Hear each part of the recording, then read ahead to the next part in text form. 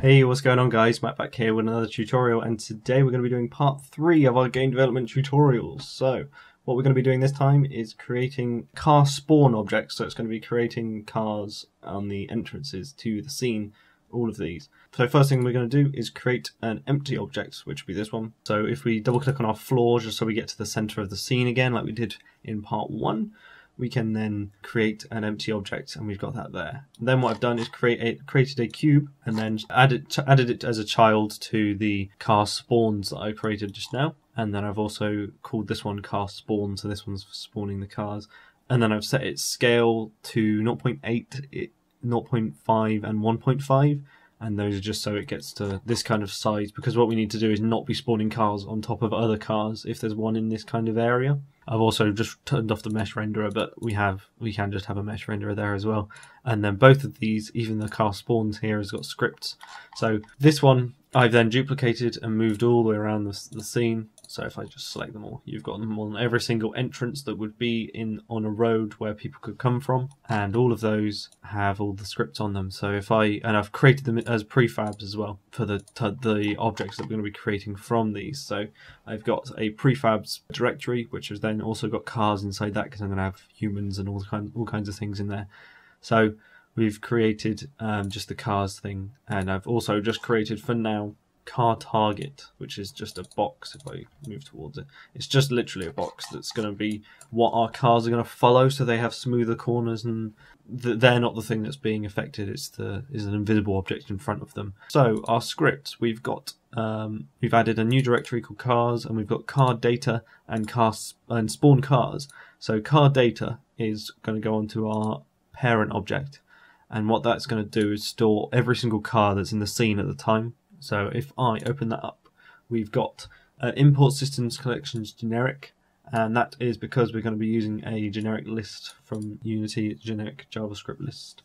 All we got is a variable of cars, which is equal to a list dot, and then open arrow uh, angled brackets, and then game object capital G, and then close that, and then close it off as well. So that's just going to create a list every time if we want to add stuff to it. And then we've got our spawn cars script, which we're going to be starting to get into a bit more detail into the games coming from this, this tutorial onwards, adding AI and things. So we've got our car target, which is the empty object which our car is going to be following. And that this one is just the prefab that we're going to be using and then we've got can spawn is equal to true to start with because it's not going to have anything in the way at the start of the scene. On function start, we've got an invoke repeating, which will create, which will start spawn. It'll do it initial, it'll do it instantly, and then it will do it randomly at any time between five and ten using random dot range, using capital letters at the start of each of those, and then closing it all off. And then our spawn function, we're going to be calling from that every five to ten seconds. It's going to have a 50-50 chance Uh, as long as it can spawn, as long as can spawn is true, then it will create a variable of this car, which will be the our car target, which we've spawned at the position that we are, and our rotation. And it's going to create as a game object so we can access it easier here.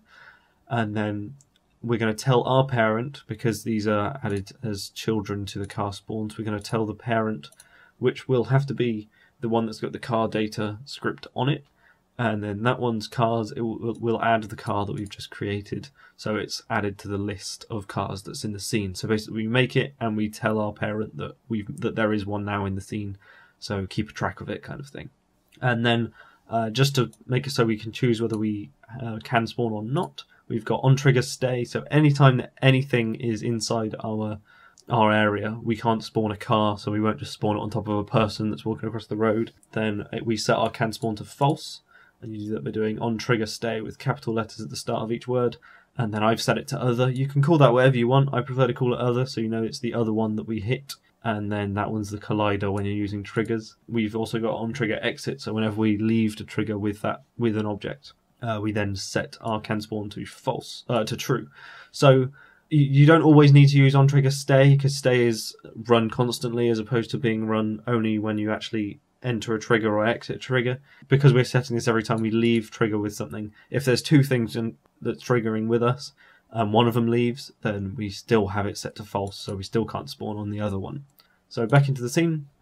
Uh, basically, what it's going to be doing, if I hit play, it randomly is going to create each of these uh, objects. Don't forget actually to set these uh, onto the prefab. So onto our car spawns, I've set car target, which is the object, the prefab that I created just just before. Um, all I've done with that is just given it, it is made it kinem- kinematic, rigid body, so it will trigger with things, and then made it into a trigger as well. And you don't really need the mesh renderer, but just for testing purposes, it's nice to have it there so you can just see it. So if I hit play, you're going to see that we're going to be randomly creating them, and over a bit of time, we're going to end up having them on every single entrance because it has a chance every five to ten seconds to create one. So that's going to effectively be creating cars into the, in the next tutorial. So stick around for that one, and I will see you there.